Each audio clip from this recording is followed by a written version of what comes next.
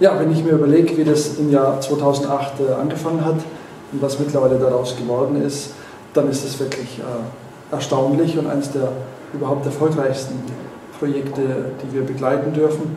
Ähm, wir wollten im 2008 die Kinder mit Tariq zu uns einladen, um am Pfingsten bei Turnieren teilzunehmen. Jetzt blicken wir auf sieben gemeinsame Jahre zurück und ich denke, das Aushängeschild dieses Projekts, die Karriere von Jonas Gebre, ist beispielgebend und es sagt eigentlich alles über die Kraft des Sports, des Tennissports, wenn es darum geht, Kinder Bildung näher zu bringen, ihnen eine Chance zu eröffnen, im Leben voranzukommen. Und der Jonas selbst, wie er sich, wenn man sich es vorstellt, bei Kerzenlicht aufs Abitur vorbereitet hat, in, der Elendshütte seiner Eltern, seiner Familie und jetzt in den USA studiert.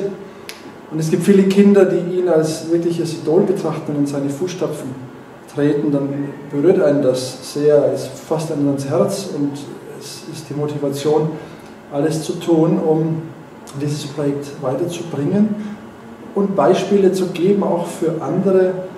Wie gesagt, ich kann nur hoffen, dass ich unserem Circle of Friends immerhin kein geringerer als Heilige Besselassie, Manfred Lautenschläger, die sich hier verwenden, noch weitere Mitglieder finden, die sich in irgendeiner Weise committen und die Botschaft hinaustragen in die Welt oder vielleicht eine kleine Spende einrichten, Dauerauftrag oder einfach eine einmalige Zuwendung, um dieses Projekt weiter zu befördern. Soweit von meiner Seite. Herzlich willkommen im Circle of Friends. Schließen Sie sich uns an. Dankeschön.